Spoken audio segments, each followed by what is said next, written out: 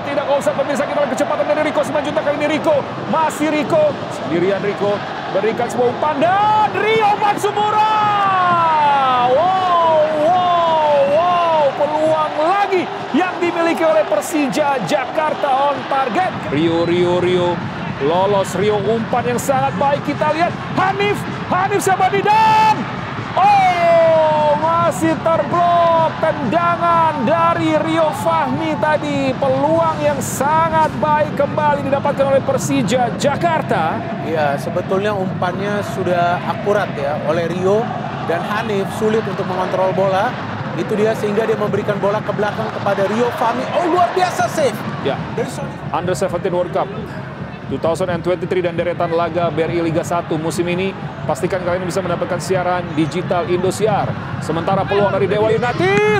Oh, nyaris tadi Dimitrios Kolovos ketika umpan yang sangat terukur dari Egi Maulana Fikri. Kita lihat Oh iya. berdiri cukup bebas sebenarnya. Betul, Gayos terlambat tadi untuk melihat pergerakan tanpa bola dari Kolovos. Hampir saja tadi mencetak gol pembuka di pertandingan ini. Tendangan Iya. volley tapi tidak on target. Sayang sekali jika dia mendapatkan suplai bola apalagi di dalam kotak penalti pertahanan Persija. Ya, betul sekali.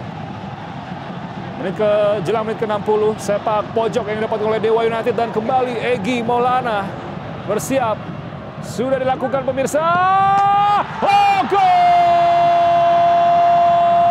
Gol gol gol gol gol gol gol gol gol gol gol gol gol gol gol gol gol gol gol sangat primo berikan semangatmu. Dimitrios Kolovos lolos tadi jemput bola dan langsung lakukan tendangan voli yang begitu keras. Sempat mengenai tiang sebelah kiri kemudian bola masuk ke gawang dan 1-0 keunggulan Dewa United memanfaatkan set piece sepak pojok. Kita lihat.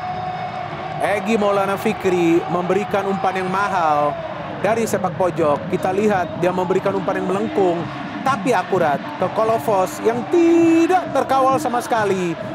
Sedikit terlambat Akbar untuk menutup ruang dari Kolovos yang bisa melepaskan tendangan volley itu dia. Terkena tiang gawang tapi menjebol gawang dari Andri Tani. Mencetak gol keduanya bagi Dewa United setelah sebelumnya mencetak gol ke gawang PSM Makassar pada saat Dewa United menang di Lolos Majid Osman. Majid Osman.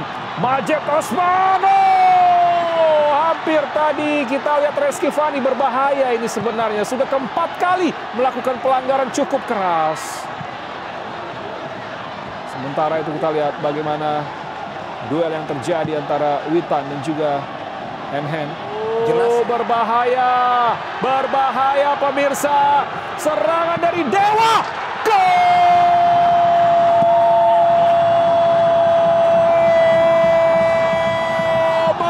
Mengunci kemenangan Ahmad Rusadi melalui serangan balik cepat dan Dewa United kill the game. Serangan balik yang berbuah hasil. Kita lihat bagaimana Septian Bagaskara ternyata yang mencetak gol dengan tendangan keras yang tidak bisa diantisipasi tadi oleh Andri Tani. 2-0 Dewa United unggul. Kita lihat. Memang ada resiko ya bagi Persija ketika mereka keluar all out untuk bisa mencetak gol penyamak kedudukan, tapi mereka juga lupa untuk bertahan. Theo memberikan umpan yang mahal kepada Septian Bagaskara, dia kontrol bola. Kita lihat tidak bisa juga ditutup oleh Kudela sehingga ketika dia mendapatkan bola, dia melihat posisi penjaga gawang Andri Tani sebelum dia syuting. Ya. Dan dia melepaskan tendangan yang menyusur tanah. Dewa mampu mengunci kemenangan ini bahkan menambah gol lagi. 2-0. Kami akan kembali ke studio membahas jalannya pertandingan babak yang kedua setelah pesan-pesan berikut ini.